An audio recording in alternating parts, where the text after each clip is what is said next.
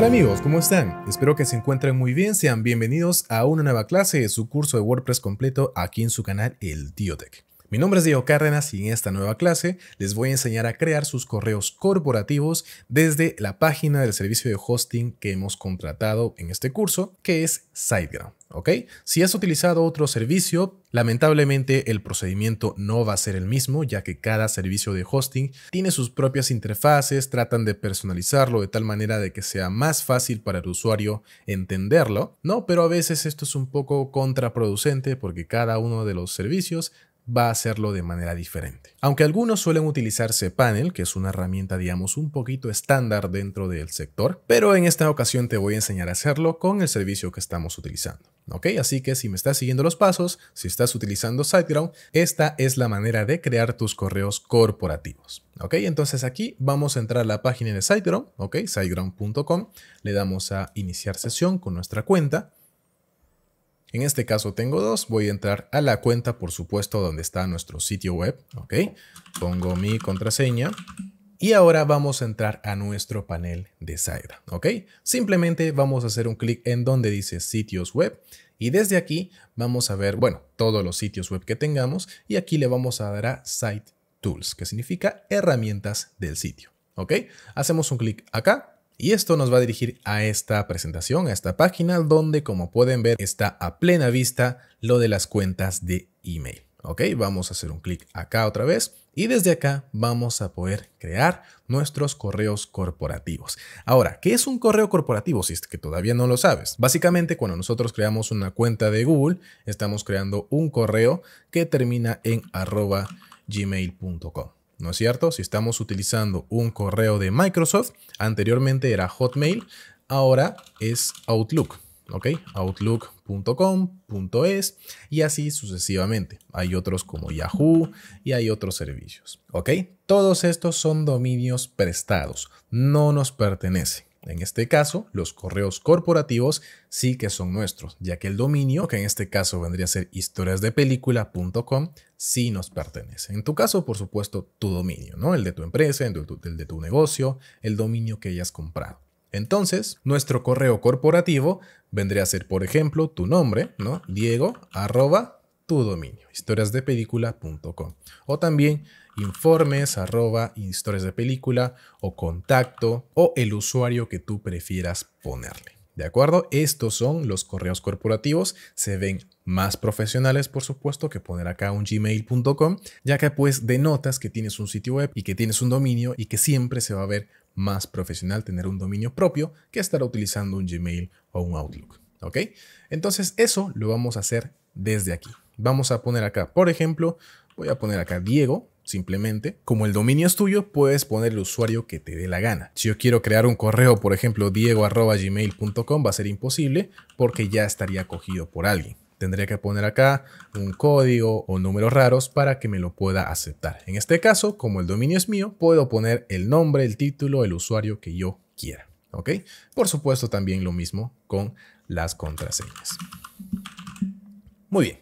Entonces aquí le vamos a dar, ya luego de haber creado nuestro nombre de la cuenta y la contraseña, le vamos a dar a crear. ¿Ok? Y listo. Tal como puedes observar, ha sido algo súper fácil y súper rápido. Ahora, ya tenemos el correo, ya le podemos compartir con las personas, ya les podemos decir que nos escriban a este correo, pero ¿cuál es el problema? ¿Dónde lo vamos a ver? ¿Dónde vamos a ver los correos que nos envíen a esta dirección o cómo podemos enviar correos desde esta dirección, ¿no? Desde este correo que acabamos de crear. Pues para eso está la información que tenemos en la parte derecha. Tenemos el servidor, tenemos algunas direcciones de los puertos y con esto es lo que vamos a configurar nuestro cliente de correo. ¿Ok? ¿Y cómo hacemos eso? Esta parte sí puede que sea un poquito más complicada, pero te voy a guiar paso a paso también para que lo hagas rápido y fácil. Entonces, la manera más fácil de hacerlo es con Outlook. ¿Ok? Estoy seguro que si tienes una computadora Windows, tienes preinstalado Outlook. ¿Ok? Simplemente haces un clic en Windows y escribes Outlook. ¿Ok? Que es la aplicación. ¿Ok? Vamos a entrar aquí a la aplicación de correo de Microsoft, donde Básicamente, en esta interfaz vamos a poder gestionar nuestro correo que acabamos de crear. En este caso, diego historiasdepelícula.com. ¿qué es lo que vamos a hacer? Vamos a irnos a donde dice archivo, ¿de acuerdo? Y acá, en la sección de información, vamos a poder encontrar este botoncito que dice agregar cuenta, ¿ok?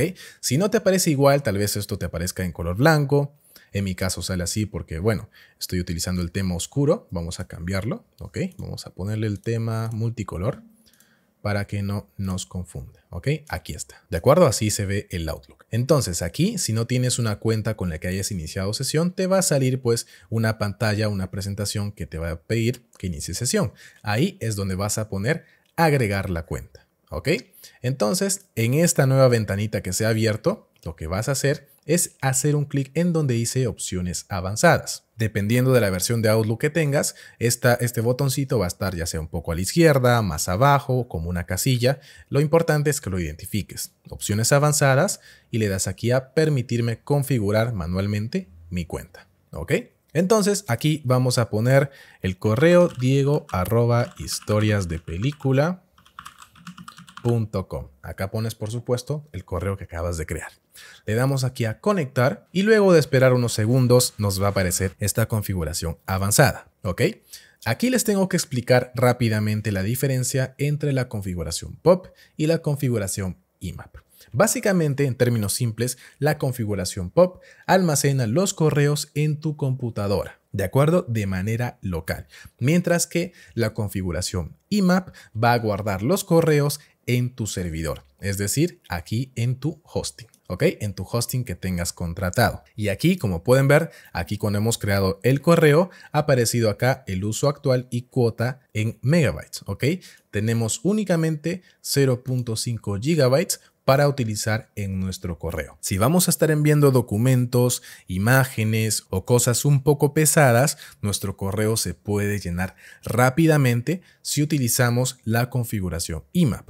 Porque recuerden, la configuración IMAP almacena tus correos, toda la información que compartas con esos correos te lo va a almacenar utilizando este espacio. Entonces, si tú vas a utilizar la configuración IMAP, Tienes que tener en cuenta que no deberías estar compartiendo muchas imágenes, muchos documentos a través de este correo porque se te va a llenar la memoria rápido. En cambio, si esto es lo que quieres hacer, si no quieres preocuparte por la memoria, te recomiendo que utilices la configuración POP, ya que esto va a almacenar todos tus correos, toda tu información en tu computadora. ¿Cuáles son los pros y los contras de uno y del otro? Bueno, del correo POP, los pros es que no te tienes que medir con lo que compartes, con los correos que envías y recibes, pero tienes que saber que estos correos únicamente van a llegar a tu computadora, se van a almacenar en tu computadora. Si reseteas tu computadora, vas a perder tus correos, tanto los enviados como los recibidos. ¿Ok? En cambio, con el IMAP, el Pro es que no te tienes que preocupar si cambias de computadora, si reseteas tu computadora, los correos siempre van a estar en el servidor y los vas a poder recuperar.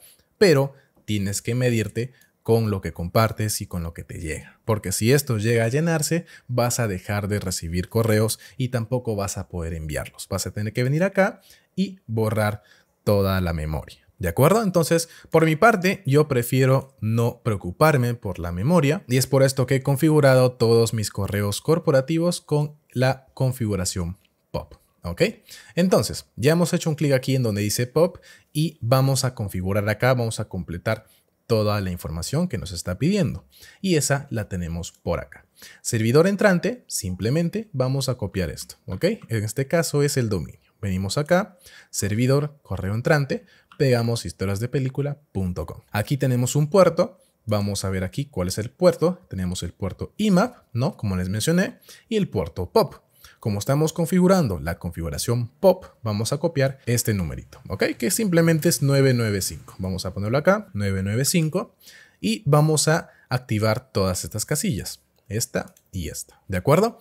Volvemos aquí tenemos servidor de salida, en este caso es el mismo que el anterior, historiasdepelícula.com, ok, vamos a copiarlo acá también y vamos a cambiar aquí el puerto, el puerto saliente. ¿Cuál es el puerto de salida? En este caso no dice explícitamente salida, pero es este de acá, 465, ok, vamos a poner acá 465 y ya está.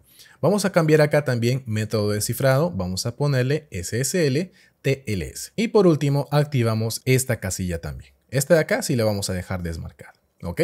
Ya está. Eso es todo. Vamos a darle a siguiente y ahora sí ponemos la contraseña que hemos creado por acá. ¿Ok? Es importante tener nuestra contraseña en nuestra cabecita o anotarla por si nos olvidamos. ¿Ok? Listo. Le damos a conectar. Esperamos unos segundos o puede pasar un minuto. En este caso me está pidiendo una confirmación de mi contraseña. Le voy a poner y ahora le damos a aceptar. ¿Ok?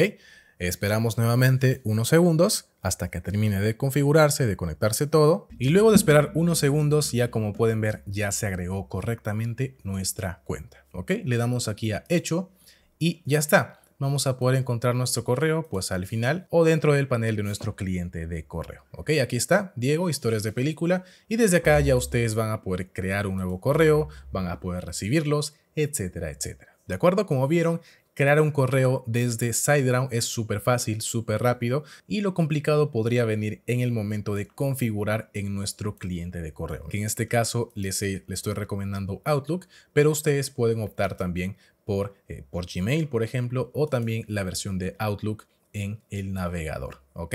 También lo pueden hacer por ahí. Claro que las configuraciones o los el paso a paso vendría a ser un poquito diferente, ¿ok? Y bueno, eso ha sido todo por esta clase, espero no se les complique demasiado esto de los correos corporativos, en especial la opción de configurar los clientes de correo. Y bueno, por mí eso ha sido todo, nos vemos en la próxima clase de este